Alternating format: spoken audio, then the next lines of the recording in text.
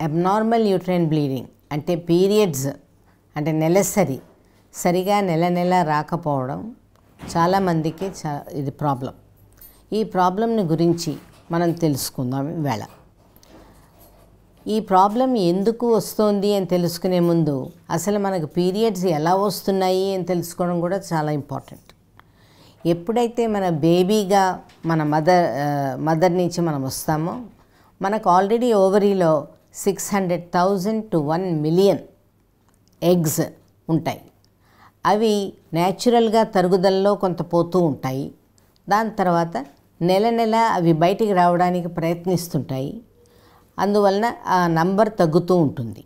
ఎప్పుడైతే ఆ number finish అయిపోతుందో లేక బ్రెయిన్ ఒక సిగ్నల్ ఇచ్చి మిగతా వాటిని ఇనాక్టివ్ చేసేస్తుందో అప్పుడు మనకు మెనోపాజ్ అంటే పీరియడ్స్ రాకుండా అయిపోతాయి.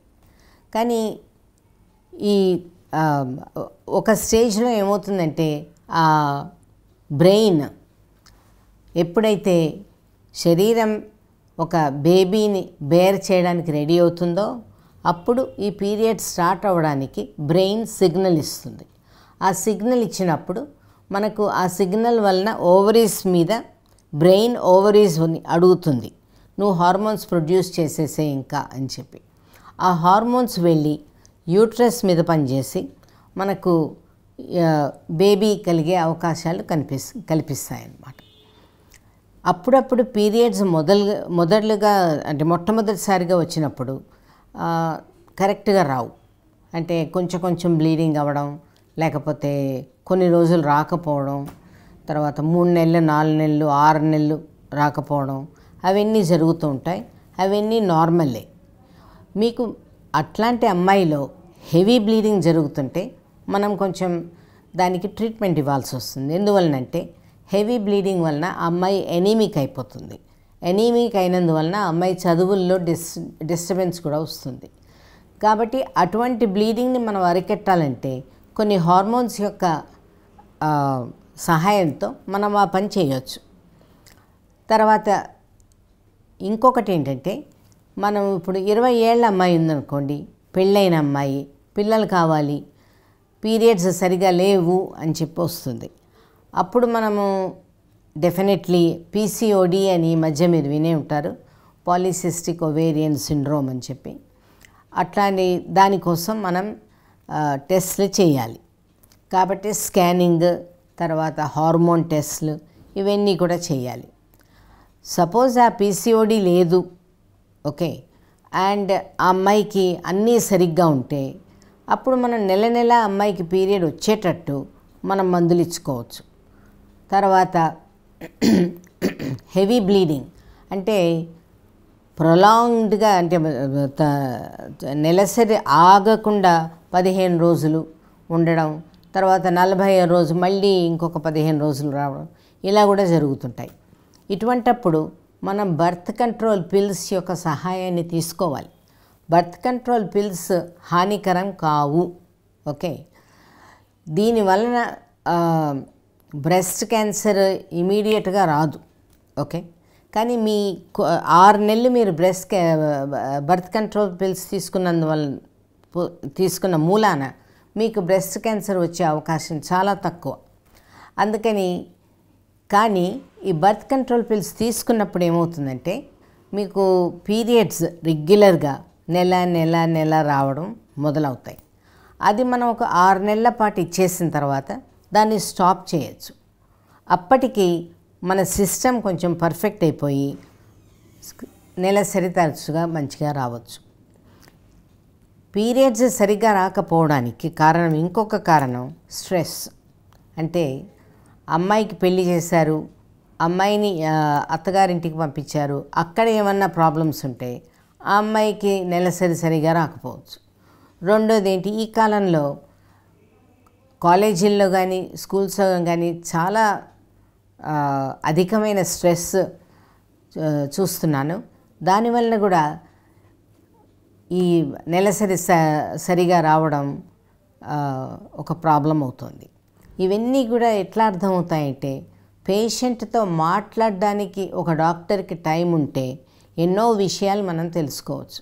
కాబట్టి మీరు డాక్టర్ గురించి వెతికేటప్పుడు ఒక డాక్టర్ మీతో పదిహేను నిమిషాల పాటు మాట్లాడగలదా లేదా అని చెప్పి ఒక డాక్టర్ని చూసుకోవాలి మీరు. అంటే ఒక గైనకాలజిస్ట్ని.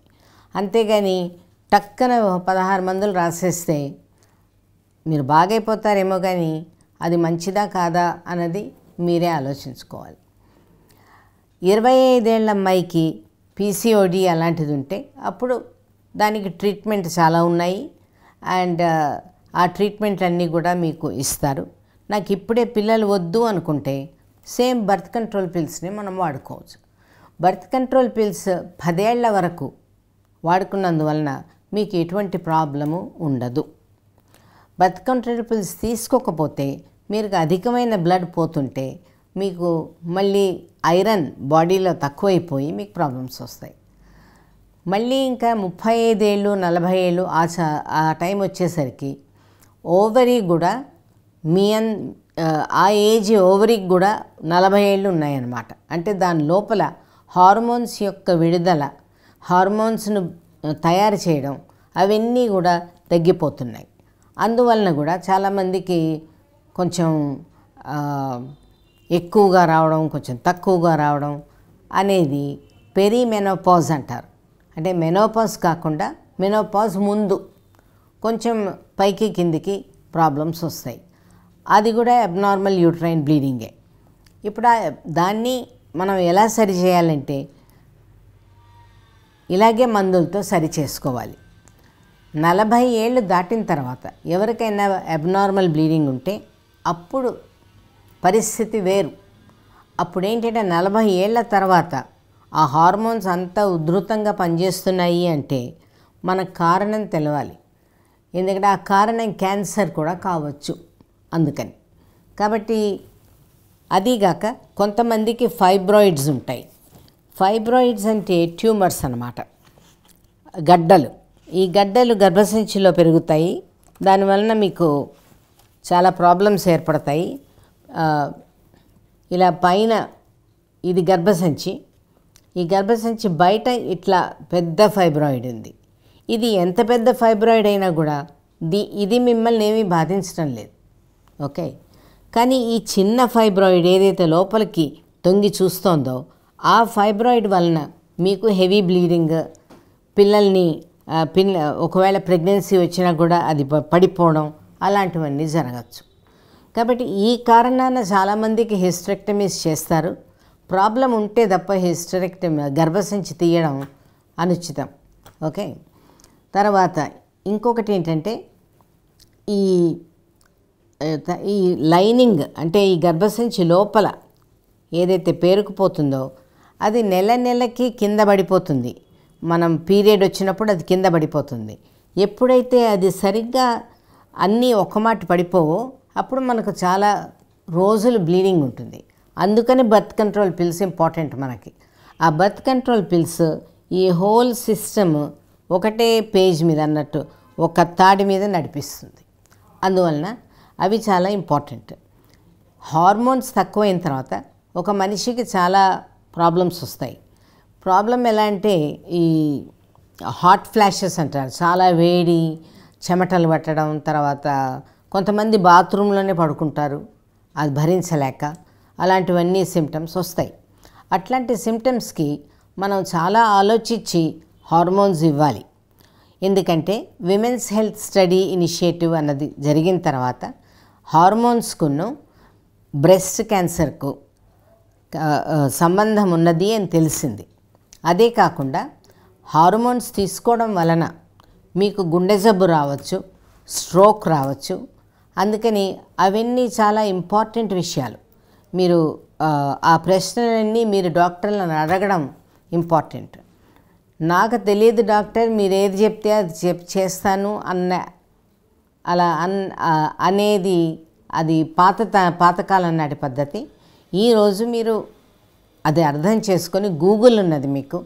దానిలో ఏంటి ప్రాబ్లమ్స్ అని అండర్స్టాండ్ చేసుకొని డాక్టర్ని సరైన ప్రశ్నలు అడిగి మీరు స- మీకు సాటిస్ఫాక్టరీగా సమాధానాలు దొరికినప్పుడే మీరు ప్రొసీడ్ అవ్వచ్చు. ట్రాన్సామిక్ యాసిడ్ చాలా మంచిది. బ్లీడింగ్ మరీ ఎక్కువైతే అది మనం వాడుకోవచ్చు. అది ఏం ప్రాబ్లం కాదు. ట్రాన్సామిక్ యాసిడ్ ఎస్పెషలీ పీరియడ్ అయిన తర్వాత పీరియడ్ అయిన తర్వాత కొంతమందికి చిన్న స్పాటింగ్ అవుతూ ఉంటుంది. అలాంటి వాళ్ళకి ట్రాన్సామిక్ యాసిడ్ చాలా బాగా పనిచేస్తుంది. కానీ అన్నిటికంటే బాగా పనిచేసేది మాత్రం బర్త్ కంట్రోల్ పిల్స్. ఓకే? నాకు ఏ బర్త్ కంట్రోల్ పిల్ కంపెనీలో నాకు ఏమీ షేర్స్ అవి లేవు. కానీ యాజ్ అ డాక్టర్ అంటే చెప్తున్నాను. అందులో ఉన్న హార్మోన్ కాంబినేషన్ వల్ల మనకెంతో మేలు జరుగుతుంది. మీకు ఆల్రెడీ బ్లడ్ ప్రెషర్ ఎక్కువగా ఉండి మీకు షుగర్ అలాంటివన్నీ ఉంటే మీరు డాక్టర్కి అవన్నీ చెప్పాలి. ఎందుకంటే అవన్నీ ముందు ముందు మీకు ప్రాబ్లమ్స్ వచ్చే సూచనలు ఉంటాయి ఈ హార్మోన్స్ వల్ల. అందువల్ల ఆ బర్త్ కంట్రోల్ పిల్స్ ఇప్పుడు పదహారేళ్ళ అమ్మాయికి హెవీ బ్లీడింగ్ అవుతూ ఉంటే మనం చూస్తూ ఊరుకోలేం. ఎందుకంటే ఆ అమ్మాయికి బాడీలో ఉన్న బ్లడ్ తగ్గిపోతుంది. అందువలన మనం వెంటనే ఆ బాడీలో ఉన్న బ్లడ్ ఎక్కించడానికి అంటే బ్లడ్ ఎక్కించడం కాదు ఆ బ్లడ్ ఉత్పత్తి కావడానికి మనం ఆ అమ్మాయికి మందులు ఇవ్వాలి. అదే టైంలో ఆ అమ్మాయికి ఈ పీరియడ్స్ సరిగ్గా ఉండేటట్టు బర్త్ కంట్రోల్ పిల్స్ కూడా ఇవ్వాలి. ఈ బర్త్ కంట్రోల్ పిల్స్ వల్ల మీకు పదేళ్ళు తీసుకున్నా కానీ చిన్న వయసులో మీకు ఎటువంటి ప్రాబ్లం రాదు. పిల్లలు కనడంలో తర్వాత ప్రాబ్లమ్స్ వస్తాయి. ఎందుకు ఇవ్వాలి? అని కొంతమంది గైనకాలజిస్ట్లే అనడం నేను విన్నాను. కానీ అది కరెక్ట్ కాదు. ఈ రోజులలో చాలా లో డోస్ అంటే తక్కువ మెడిసిన్ ఉన్న బర్త్ కంట్రోల్ పిల్స్ మీకు దొరుకుతున్నాయి. అలాంటప్పుడు దాన్ని మనం వాడుకోవడం చాలా ఇంపార్టెంట్. అప్పుడప్పుడు అబ్నార్మల్ బ్లీడింగ్ మీకు సర్వైకల్ క్యాన్సర్ యొక్క చిహ్నంగా కూడా కనిపించవచ్చు అందుకని మీరు ము- ముప్పై ముప్పై ఏళ్ళ వయసు దాటిన తర్వాత మీరు సంవత్సరం సంవత్సరం ప్యాప్స్మీర్ అనేది చేసుకోవడం చాలా ఇంపార్టెంట్. ఎందుకంటే ప్యాప్స్మీర్ అనేది